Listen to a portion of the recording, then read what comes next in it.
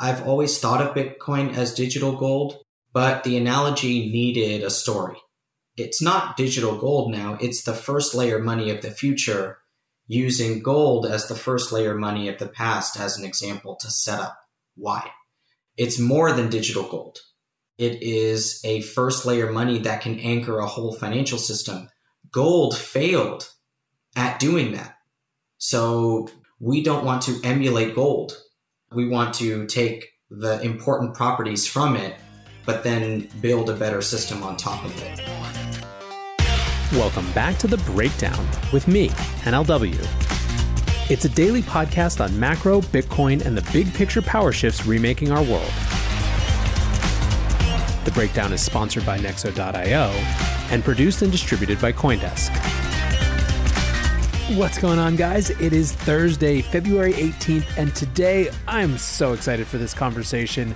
You know, I geek out when I get to do a historical episode, and that is exactly what we have for you today. There are many people, especially in the sort of bull market we're in, who will extol Bitcoin's virtues.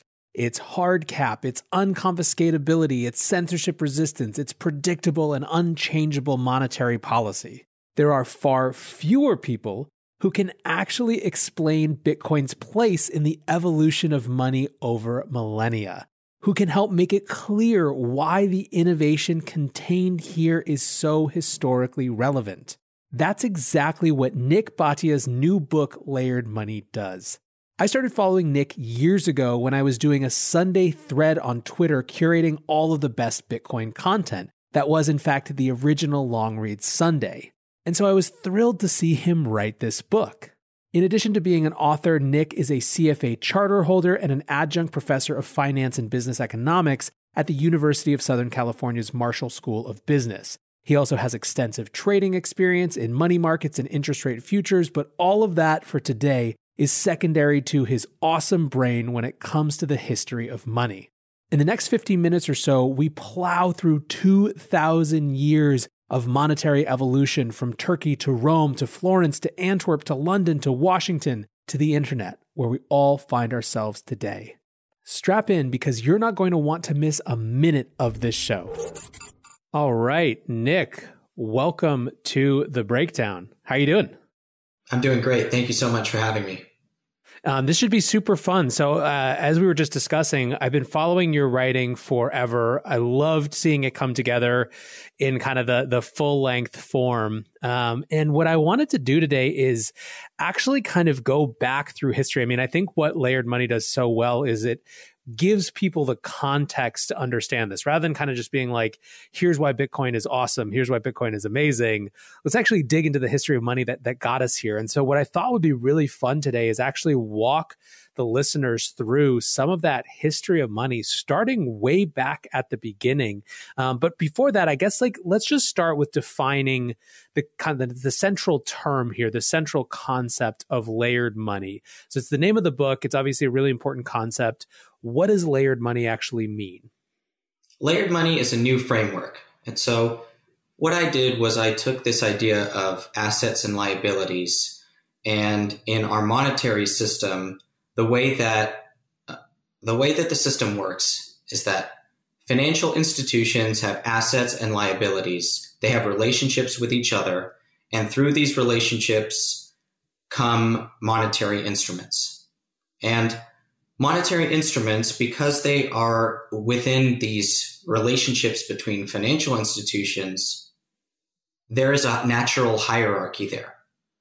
And so the hierarchy of monetary instruments is not something that is a common, commonly discussed uh, term. So my goal with layered money was to bring that to the forefront. And instead of talking about assets, liabilities, talking about a pyramid of money in which there is a hierarchy. And at the top of the pyramid are certain financial instruments or commodities. And uh, certain financial institutions right below them using those assets as the base for a whole monetary system.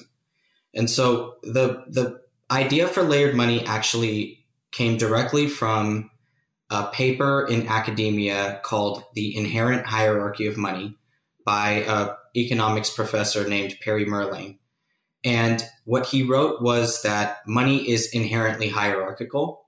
And he provided this academic framework for this. And he had a three layered system gold, government currency, and deposits. So, a three layered system. And I found that paper so fascinating. And so, what I did was I actually tried to trace the roots of that paper. That paper didn't have a, a historical context to it it was about the hierarchy of balance sheets in the financial system.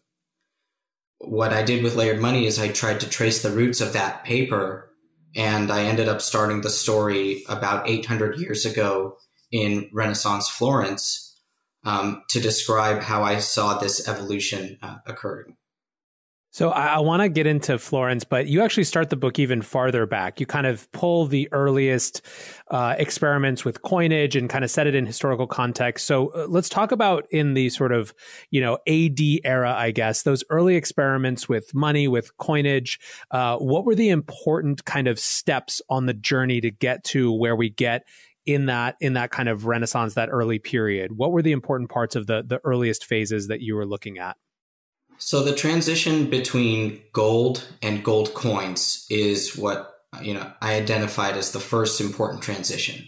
So before gold coins, gold was used and gold and silver were used as mediums of exchange, but it was in the form of non-standardized bars, jewelry, etc. These these gold and silver items, but not necessarily uniform in their measure and weight. So the coin, what the coin did was it changed this idea that we can, we had to measure our gold and silver every time we transacted with each other. Because now I had a coin that I that you recognized, you have a coin that I recognize. I know how much your coin weighs. You know how much my coin weighs, and so we can change. Uh, we can exchange a lot quicker than if we didn't have the coin. So that was a very important advance, and that happened uh, for the first time, you know, several hundred years before uh, Renaissance Florence, um, and actually in ancient Lydia, which is in modern day Turkey. So after the the after we start getting gold coins, then we actually see the Greek and the Roman empires use coins uh, to uh, mint coins and to use these coins in order to uh, expand their empires and exert their influence over uh, their subjects. And what you saw in the Roman Empire was really an example of devaluation. So, this idea that a government can come in, uh, mint a coin, but then the next year put less gold or silver in the coin and progressively keep cheapening the currency, uh, but try to really get away with this idea that the currency that they issued this year is the same as the currency that they issued 10 years ago, which had twice as much, you know, silver or gold in it. And so the manipulation of currency at, uh, through government started to happen as well uh, along this time before we get into the Renaissance. So we've got coinage as a way to simplify the way that exchange happens by not forcing people to remeasure the valuable underlying asset each time. We have almost as soon as it, uh, as governments get into it, kind of attempts to fiatize in some ways, uh, you know, the value of this money and decouple it, or at least um, get away with uh, there being less of the actual underlying asset. Are there any other kind of important steps uh, during this phase, or, or maybe more more kind of uh, uh, directly? What are the what are some of the um, challenges? What are the issues that are that are arising from this that uh, that others would later try to solve? There are two. One is this uh, idea of coin multiplicity, where we have several hundred or even thousands of different cities, empires, monarchs, rulers issuing their own coins. So we have confusion there, and that slows down the exchange of money. Uh, another was just the risk of uh, money being metal itself. So with money being physical, you have the risk of loss, theft, or any um, any type of uh, you know shipwreck, all these types of activities that can only happen with something physical. And so money also, while it was uh, getting consensus around gold and silver, and gold and silver coins were recognized around the world, you still had these challenges that only really paper and a network of bankers could solve. So this is the dominant system, or, at least some vestige of this system is pretty much how the world works, or at least uh, the kind of post-Roman, you know, proto-European world works for the next thousand-ish years. What starts to happen in the early days of what will become the Renaissance that changes that, and how does that come about? It comes about with a financial instrument called the Bill of Exchange. The Bill of Exchange is a financial promise. It's an agreement to pay uh, one where one party agrees to pay one another party in the future in uh, a different currency uh, and a, at a certain time in a certain amount. And so it's a promise. It's a promise to pay. And so these bills of exchange that were issued by this new class of merchant bankers, um, you know, in the 1100s, 1200s, these instruments, uh, they really transformed the way that people dealt with money in Europe because now they didn't have to change, uh, they didn't have to exchange coins each time that they transacted. They could issue these promises, these bills of exchange to each other, and it was a way to do bridge financing, you know, in modern terms. And this bridge financing, where merchants could basically bridge all debts for three months with any of their suppliers or anybody in their supply chain, up or downstream, this facilitated, you know, economic progress and activity across Europe because it was, you know, it was also a system of credit. So people were borrowing now. People could borrow through these bills. They could borrow uh, money to buy a raw good, make that good, and then sell that good and take the money that they earned, pay back the loan, and keep the profit. So this is like business 101 that, you know, in the way that we think about today, you start a business, you borrow some money, you invest it, and you reap the profits down the road and you can pay back the interest and the principal, hopefully, you know, if your business is successful. This all started to flourish around this time uh, in, in pre-Renaissance Europe. What were the preconditions that made this viable? I mean, we, you know, we, we kind of have a sense of what makes the modern monetary system work in terms of, you know, big, you know, national or transnational arrangements like Bretton Woods, backed by a military with agreements around, oh, you know what I mean? Like there's a set of uh, of underlying conditions what were the the sort of things that were going on geopolitically, socially, uh, you know, kind of economically? Was it just that there was this set of people who were innovative? Was there something else about what was happening then in terms of the way that trade was actually happening? Um, I mean, if this is kind of a little bit more more depth, but I just think it's fascinating when history has these kind of huge inflection points. Yes, I think that it is the synthesis of a few things, and this is the point I tried to get across in the book. This uh, flourishing activity it came from a couple different sources geopolitically speaking. One was this post-feudal northern italian uh, city republic uh, origins. So you had city republics like florence and venice start around this time in a post-feudal era and these city republics had property rights and things that are that we think about in the United States uh, from our Constitution, and they had uh, there are there's traces there to um, this era in pre-Renaissance Florence. So these city republics, something about them gave way to mints in which they're making coins, you know, striking coins from gold and silver with such a stability, these mints had such a stability that wasn't that wasn't present in under kings and queens. It just wasn't. And so the Florentine mint in particular issued a coin called the Fiorino de Oro, the, the gold florin, that had an unchanged weight and purity for over 300 years. It was struck in 1252. So for 300 years, you had this gold coin that every year it was issued, it was the same as the last year's issue. And so all of Europe adopted the florin as its denomination because it was so stable and trustworthy. And so everybody measured their wealth in florin. The highest paid administrators were paid in florin. International business arrangements were done in florin. International business balance sheets were kept in florin and at least one side of all bill of exchange transactions across the continent were denominated in florin.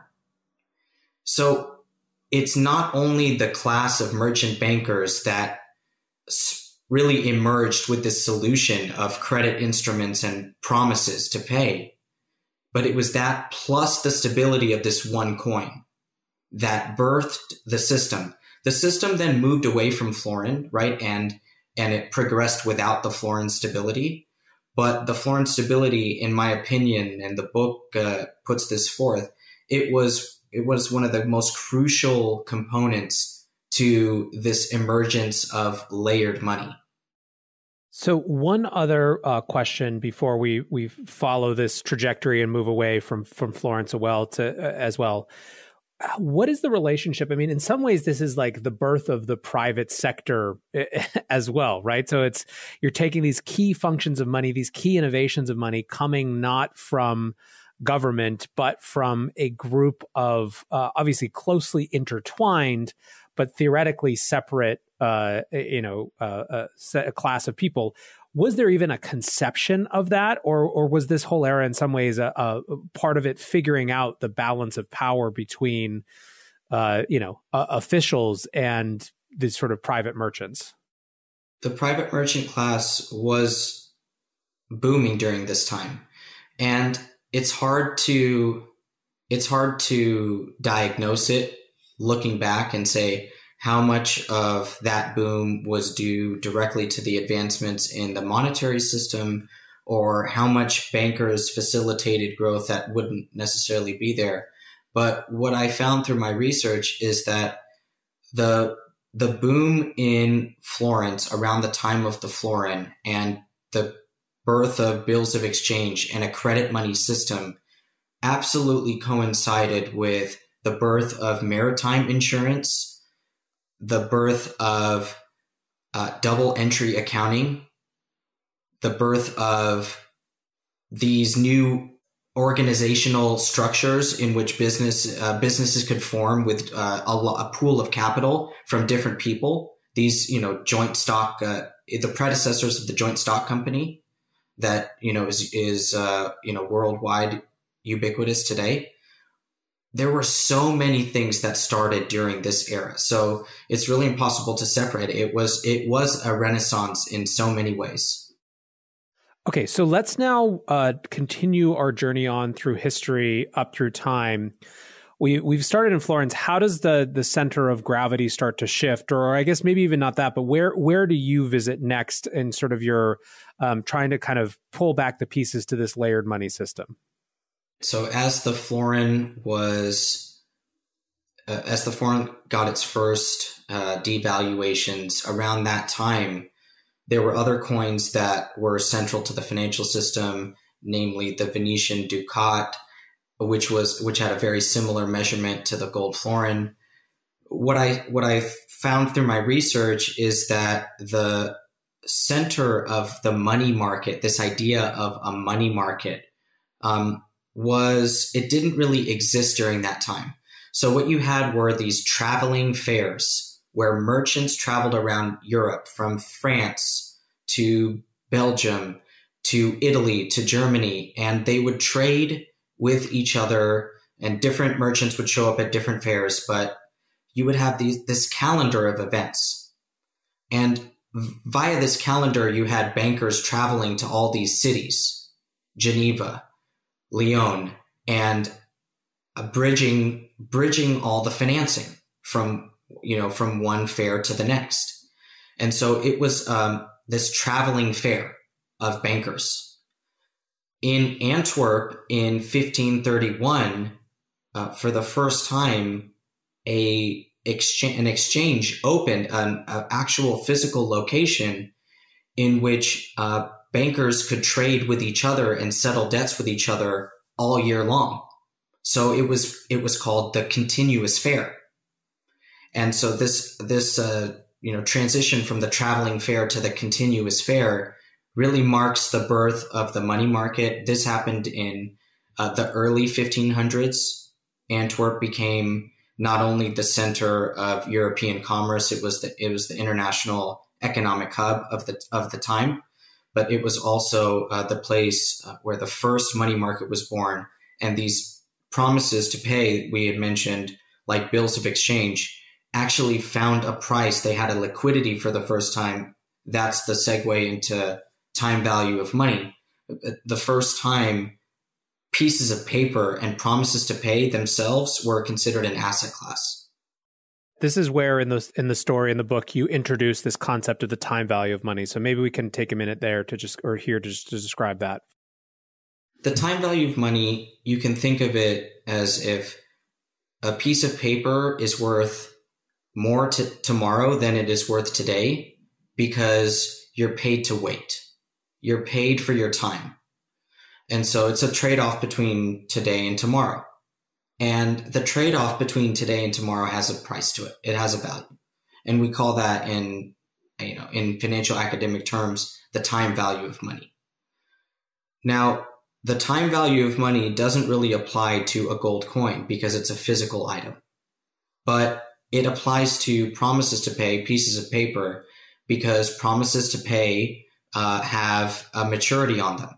And so when the agreement is made today, when and you measure the uh, the cash flow in the future, when you compare the cash flow today and the cash flow in the in, in the future, there's a, a mathematical uh, you know derivative of that, and that's the interest rate. And so the time value of money is associated with this idea that things have interest rates. They have uh, a difference between their value today and tomorrow. So, how did this concept start to shape or reshape these emergent money markets? What happened was in Antwerp, bills of exchange and other financial instruments called notes, you know, the predecessors of what we think about as our currency notes, our paper cash, these types of instruments started to all trade with their own individual prices and each one of these prices corresponded with an interest rate. And now you could trade, basically, you could trade interest rates for the first time in Antwerp. And so this this uh, business of trading interest rates, or what we think of today as the bond market or the money market, uh, had its birth in Antwerp, and really a whole uh, financial system um, can trace its roots to uh, the beginning of this type of trade. Looking for the best way to stay on top of your investment game? Nexo.io has you covered in three easy steps with their high yield savings account for digital assets. Step one, create an account at Nexo.io. Step two, transfer assets to your secure Nexo wallet with no minimum or maximum limits on funds deposited. Step three, sit back, relax, and earn up to 12% compounding interest paid out daily on your crypto and fiat. Your passive income made simple. Get started at nexo.io. The next kind of innovation that you point to or, or change, transformation, is the rise of what would be the predecessor of the central banking system. So maybe you could talk about that kind of what how this starts to occur, what the functionality is, how it differs perhaps from how we think about central banking today. So at the end of the 16th century, uh, we had the Dutch Revolt. That what happened during the Dutch Revolt is that um, the Antwerp literally got blockaded, and uh, trade couldn't flow to and from Antwerp. So the center of economic uh, trade in Europe transitioned from Antwerp to Amsterdam at this time. And in Amsterdam, uh, there was really a boom in financial innovation. You had at the same time the Dutch East India Company starting to uh, form. and officially formed in the year 1602. They were reaping eh, they were reaping profits. They were the first ever joint stock issuer. The shares in the Dutch East India Company uh, were skyrocketing in value. People wanted to cash in on their shares. When they wanted to cash in, there was no place to do it. So we had the birth of the first stock exchange as a response to this, the Amsterdam Bourse.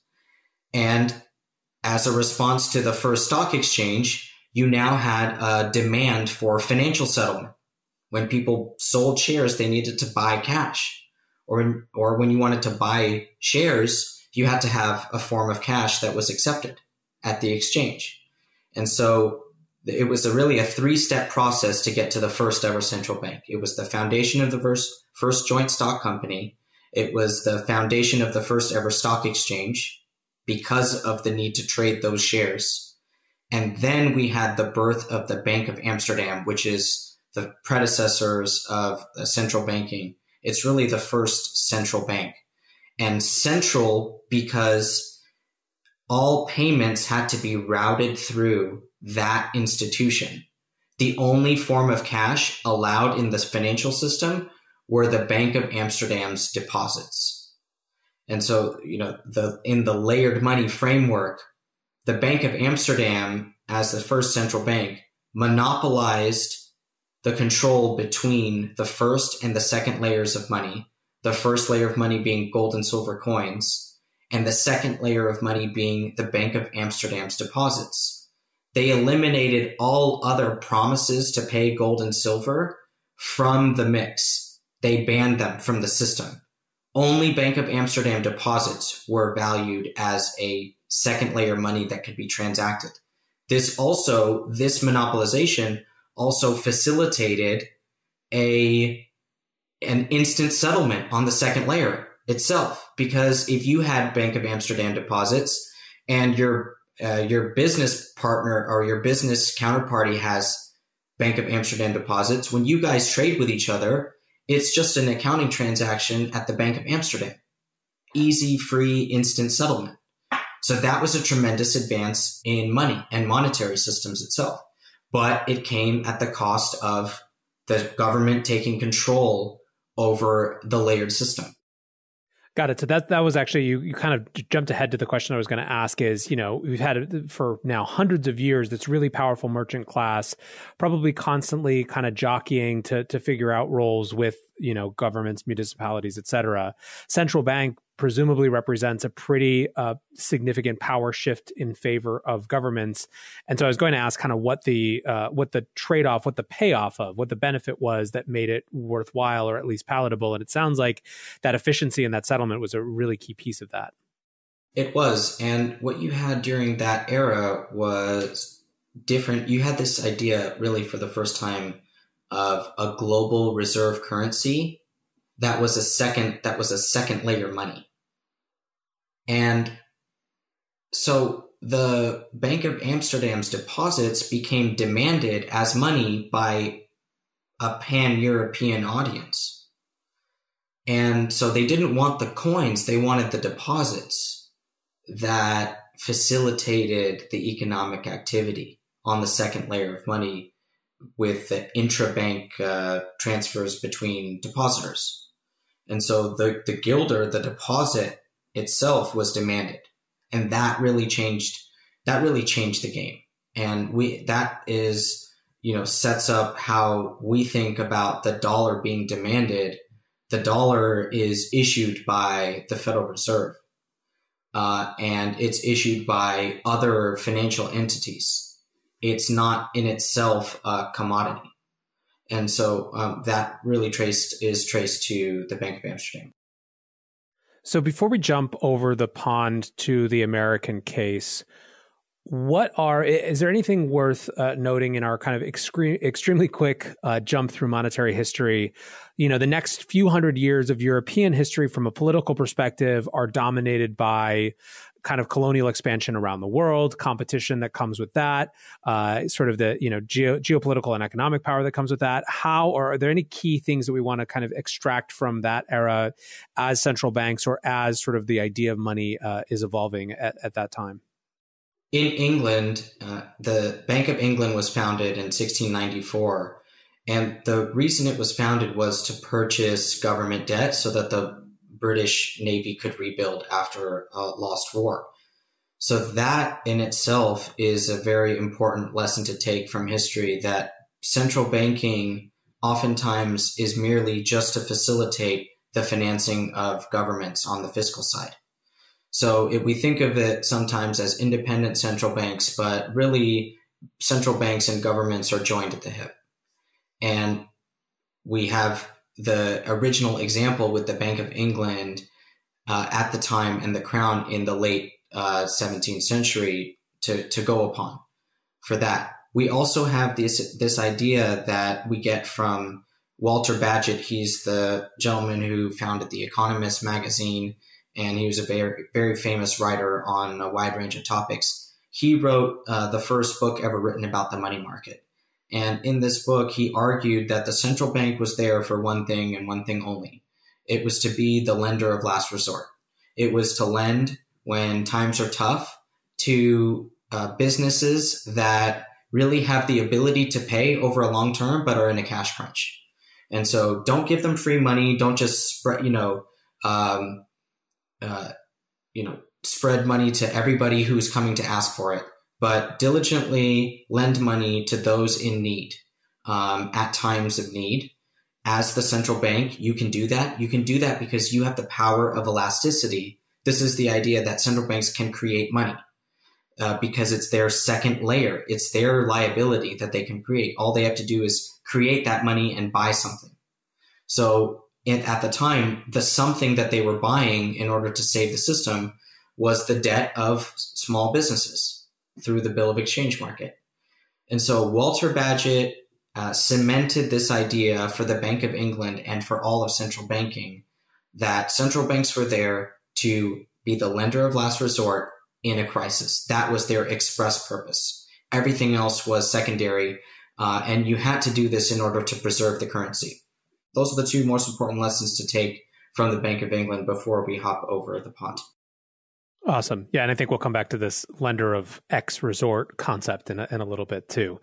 Um, okay. So uh, before we get to the Federal Reserve System and, and the creation thereof, what did proto Federal Reserve American uh, money look like? What was the monetary system? I mean, this is a huge question, right? Because we have the colonial era, the Revolutionary era, the you know uh, kind of uh, like the, the Civil War era, the antebellum era. Like there's all these kind of the frontier era. There's all these different phases. But I guess you know, kind of what are the important takeaways before we get to the the the sort of the the early 20th century and the beginning of the Federal Reserve? There are a few things I focus on in the book. Obviously, you can't tell uh, the history of American money and finance. Uh, it's a very it's a very long story. So I quickly go through the first couple hundred years. Uh, one of the one one of the early lessons is that the dollar was picked over other forms of currency or other units of account or measure because of its consensus. There was this idea from north to south that the dollar was a unit that people identified with. Um, it was a Spanish coin, it was the Spanish dollar. Uh, that's where the name comes from. But it wasn't the only coin that was traded or the only form of money. Tobacco was used as money in Virginia and other colonies in the South. Wampum, uh, which you know are, are shells, were used as money throughout the Northeast. And so th- we had different forms of money, different coins, but the dollar, the Spanish dollar in particular, was known throughout America. And so that was the unit that was uh, decided on. And then they struck, um, you know, exact amounts of uh, gold and silver uh, for the dollar. But after that, you really had monetary ambiguity for uh, quite a while. We had a couple experiments with central banks that expired after 20 years. Um, and then you had several decades of um, more or less a mix of monetary instruments that functioned as money. You had gold certificates issued by the Treasury. You had private banking notes that were forms of credit backed by US government bonds. Uh, and then you had the greenback during the Civil War, which wasn't backed by anything. And so you had really this mix of monetary instruments. But what kept happening is that in every financial crisis, they kept hearing the echo of Walter Bagehot's advice. You need a lender of last resort to make the system not fail every time. And so finally in 1907, uh, there was a financial panic that was triggered by an earthquake in San Francisco. This financial panic um, really broke the system until JP Morgan had to come in and save it himself, essentially.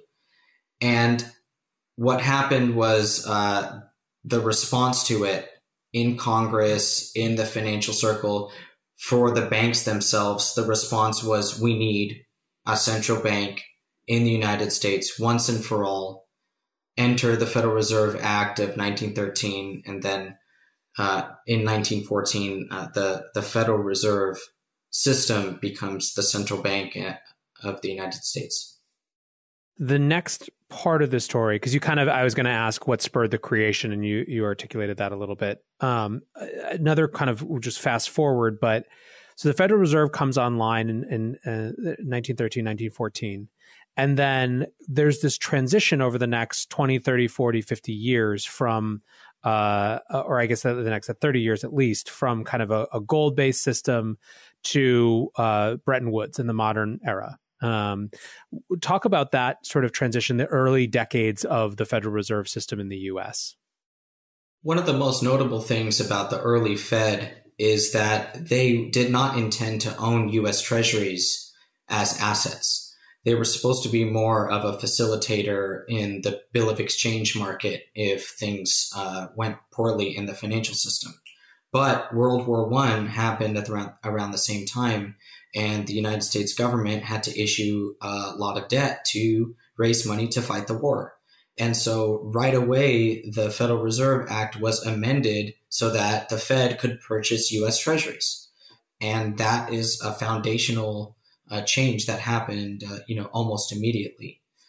The other noteworthy thing that happened uh, in the early years of the Fed, and this is about two decades into it, was that you had the great stock market crash and then the ensuing Great Depression. During the Great Depression, the United States government, through an executive order 6102, seized all the gold of the citizens and made them surrender gold to the banking system and uh, forced to take. They weren't. Uh, it wasn't seized from them. They were. It was. Um, they were purchased. The government purchased the gold from all the citizens, but they were forced to sell it. Uh, and so that act of the government seizing control of the gold itself, and then um, and then they ended up making the Federal Reserve surrender all the gold to the Treasury itself. That act was really this first idea that gold is a restriction on the financial system. It doesn't make everything work better. It, it's it's actually uh, the constrictor, and this idea uh, was really the origin is, is the blame the blame for the Great Depression and how long it lasted was it was placed on gold that gold wasn't an elastic enough system. This idea that we had to have a 35 to 40 percent gold coverage ratio at the Federal Reserve, meaning that they, they had to have gold in the vault if they were to create currency. This very idea was being blamed as why growth couldn't get off the ground. So it was really, this was uh, gold as the villain. And gold as the villain is a story that has lasted still to this day, uh, long after it left the financial system. Uh, gold is blamed for the uh, for the depression uh, lasting so long. So whether or not you agree with that, gold was removed from the from the financial system really over the course of 40 years prior to the 70s, not just starting in um, not just starting in 1970 we we we come up through the depression. We get to bretton woods.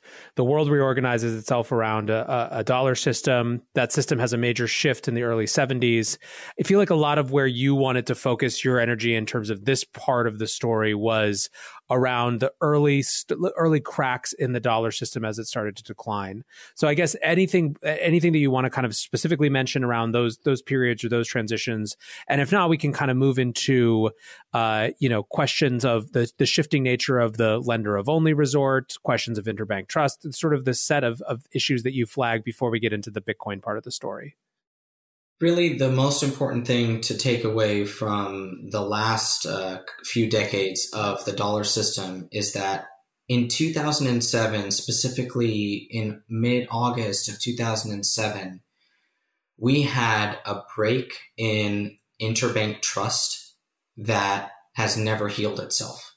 And so all of the financial crises since 2008 and every subsequent uh, spill around the planet can trace its roots to August of 2007. And really, every, you know, you, you talk about the lender of last resort, the lender of only resort. The Fed is now the lender of only resort because after this point in which the banks could no longer trust each other, there was nothing to save the system other than uh, the Federal Reserve uh, up until that point, up until 2007, you you had a culture of interbank trust that was equivalent to the Wild West. There was so much counterparty risk risk slinging around the system, but it had never busted, so nobody ever thought to correct it. Um, but it got so out of hand, it broke the system, and we're still really healing the wounds from all that um, all that uh, the demise of interbank uh, trust. Let's zoom now to the Bitcoin part of the story. Um, you have a great chapter that's sort of set up to frame it for if someone just picks up your book who's never really spent any time thinking about Bitcoin, they could get into it. Obviously, I think that this audience is probably a little bit uh, more more up to speed than that. But uh, let's talk about your concept of layered Bitcoin. What does that framing mean to you? Layered Bitcoin, the basic idea of it is that as money is inherently hierarchical, as we proved with gold, Bitcoin is the same. Because Bitcoin is money, there are those that will demand the Bitcoin itself, and there are those that are okay with accepting the promise to pay Bitcoin in the interim. And in in Bitcoin 101, this is the idea that if you have Bitcoin private keys, you have first layer Bitcoin. And if you have Bitcoin on an exchange, you have second layer Bitcoin. You don't actually own Bitcoin. You have a liability of an exchange, which is due a Bitcoin balance if you demand it. And exchanges have gained the confidence to, for people to hold their second layer forms of money because when people ask to withdraw and provide a Bitcoin address and hit withdraw, the Bitcoin settles to that address. And the mere fact that exchanges, when faced with a withdrawal request, meet that withdrawal request has built a trust in that exchange's deposits. I'm not naming any single one. There are now many exchanges that have had the trust of the public for many years now. And we don't have to single any out one way or the other. We know we have had exchanges in the past that have failed, but you know that's only a small part of the story uh, when when you demand your Bitcoin from an exchange and it pays, that itself garners a trust, and that is that's layered Bitcoin. This first and second relationship between Bitcoin and Bitcoin on an exchange uh, is the basic premise. Uh, we can apply it to the Lightning Network, and that is the origin of a lot of my research in Bitcoin. But that's actually a, a, a separate that's actually a separate idea away from this idea that Bitcoin is inherently hierarchical because people accept promises to pay it. How has this way of looking at Bitcoin? Uh, how does it change your thinking? How does it change one's thinking as they kind of engage with the space? Like, what is kind of the, the practical uh, utility of, of this way of looking at the space? I know that uh, this has been a journey for you that's kind of been a, your own kind of rabbit hole around it. How has it reshaped how you look at, you know, kind of both the current landscape, but also what comes next? It's my way of giving the moniker digital gold a whole book to explain why. So it, I, I've always thought of Bitcoin as digital gold because I studied gold uh, before I came to Bitcoin. So I've always thought about it as this idea of digital gold, and I've loved, you know, that analogy. But the analogy needed a story. And so that's what layered money tries to do. It tries to tell the story of why Bitcoin is the, it's not digital gold now, it's the first layer money of the future, using gold as the first layer money of the past as an example to set up why. It's not, um, Bitcoin is more than gold.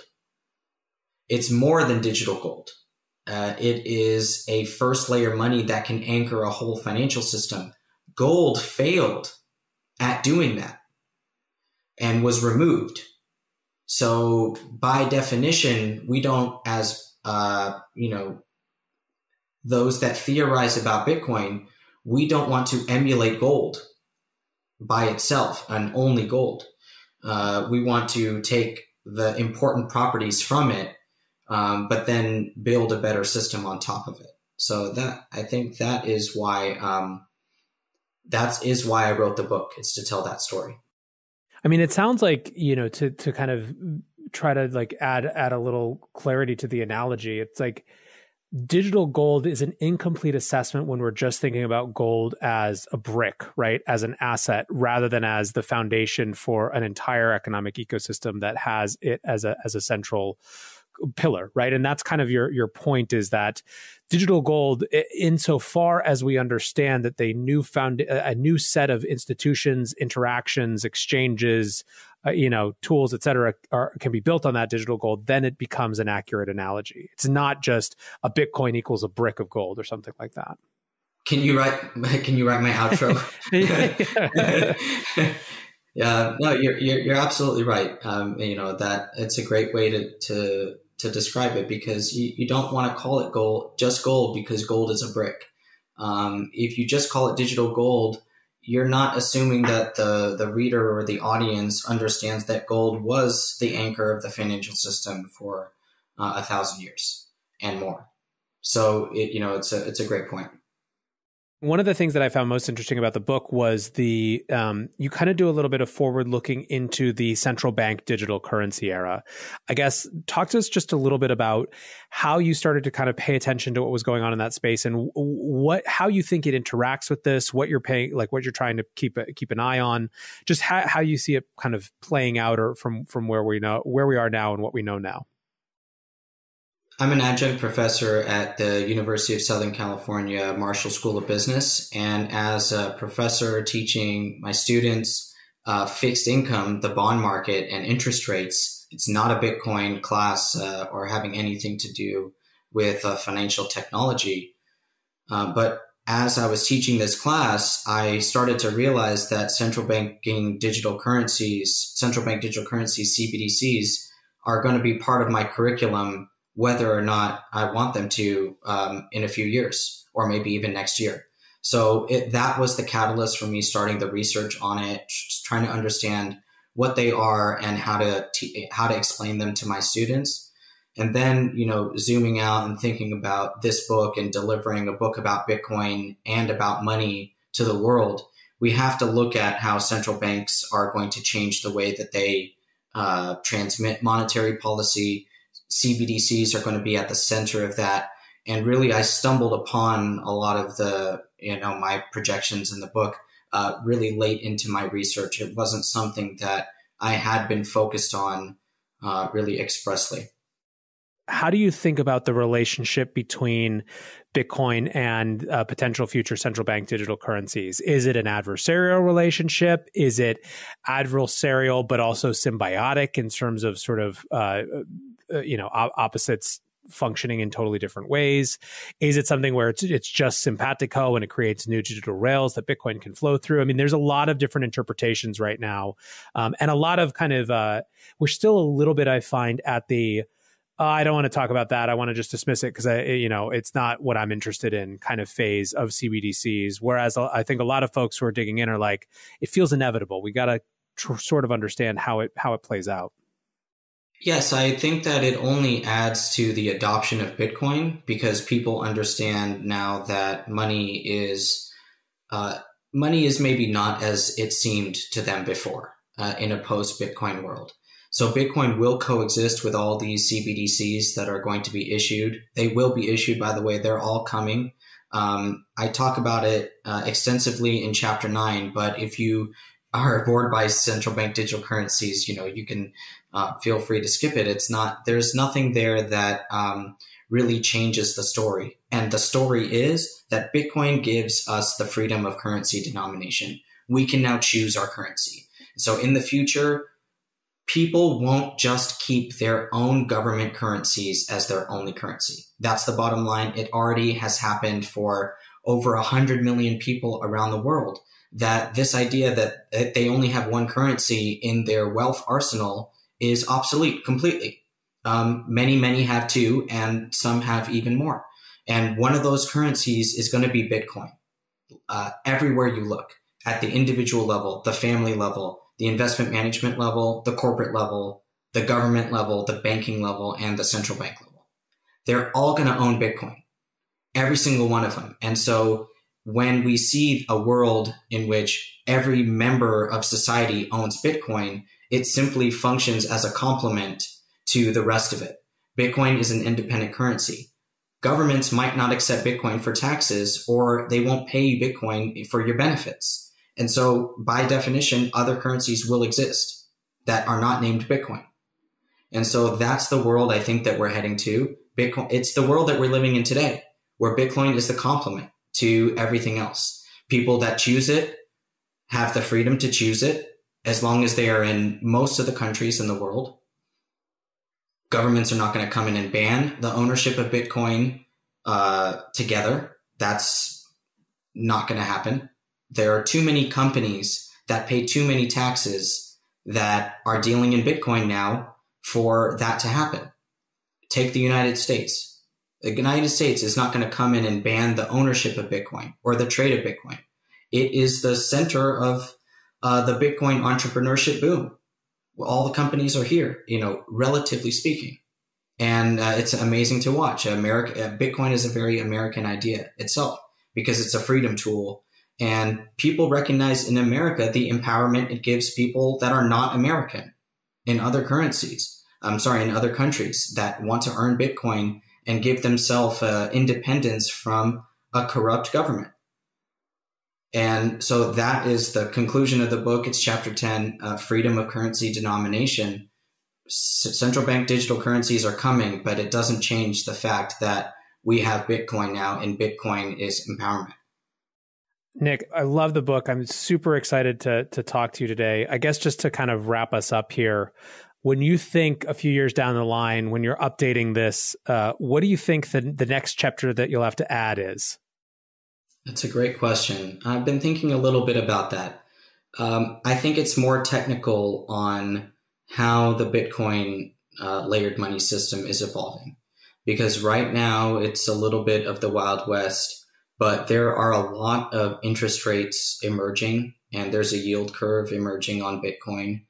And so it might it might have something to do with uh, how much the Bitcoin system itself is developing, and you know, really the speculation that I do in at the end of the book is how are CBDCs and Bitcoin and bank issued tokens, we call them stable coins, all going to interact with each other?